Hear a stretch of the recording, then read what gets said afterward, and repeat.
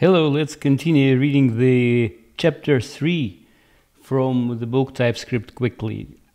In this short video, I want to talk about static variables in the class and how they have a really important practical use. We will create a we will implement a singleton design pattern. But first of all, let's talk about the static variables. Uh, they were introduced in Java script JavaScript spec, actually ECMAScript spec ES6.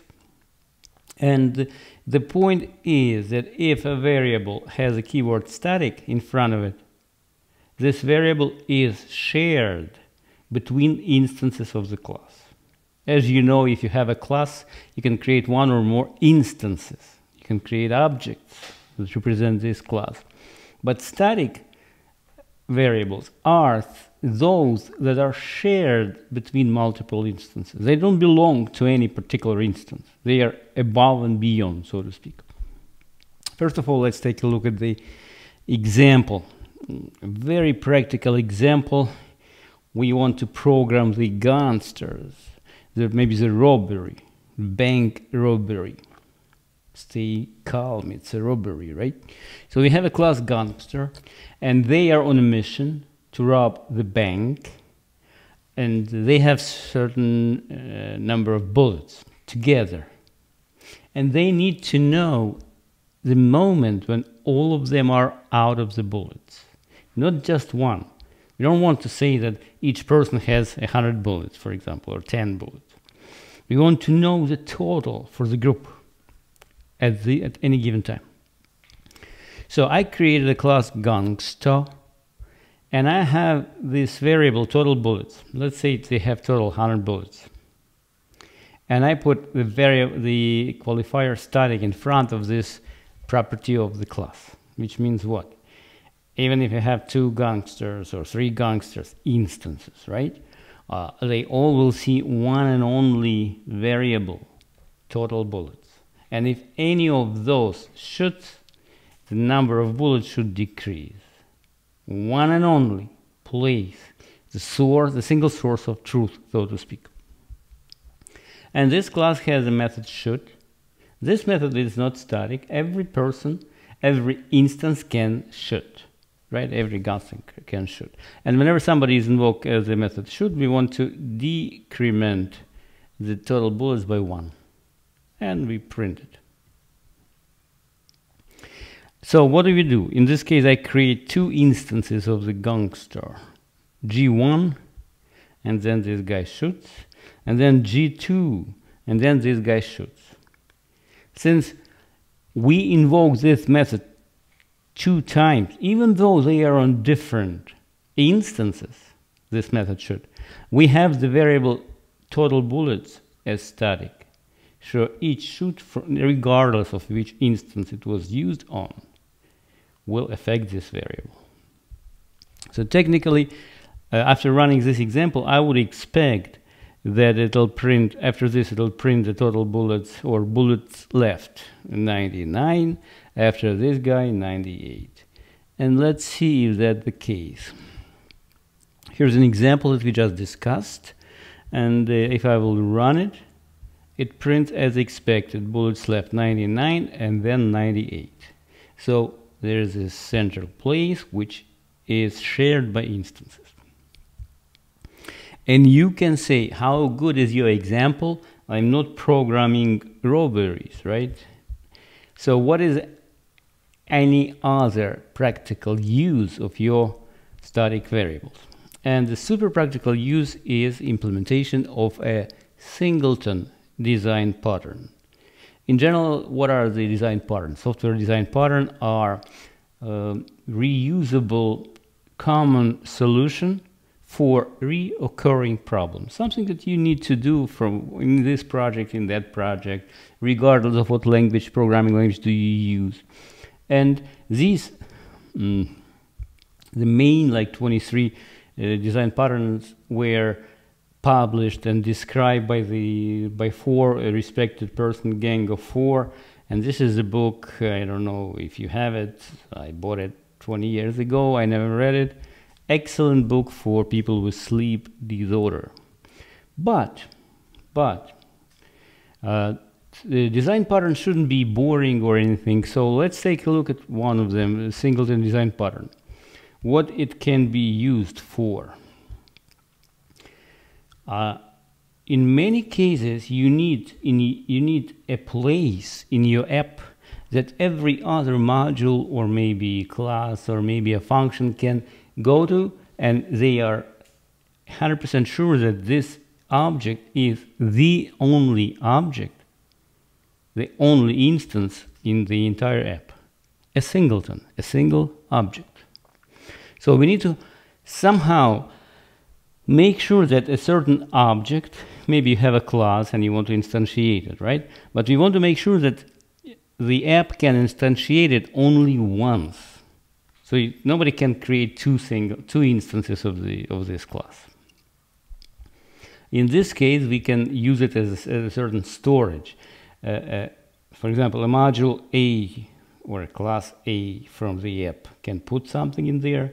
Class B can get something from there, and all know that this is the only place where people can put stuff and get stuff from. Singleton. So how do you, how, do, how static variables will help us in doing this? First of all, if we want to make sure that you can create only one instance of the class, it means that you have to hide or stop people from using a constructor of the class. Say you have a class person and it has a constructor, for example, or it doesn't have a constructor. If you will say new person, the keyword new means create a new instance. The keyword new means uh, invoke a constructor of a class. Either you create a constructor or it's a default constructor, but there should be some constructor. So we want to make sure that nobody can use the new operator with your class. All right, so if nobody can use the new operator from with your class, how you get create even one instance of it. And this is what we will talk about. This is where the static keyword helps.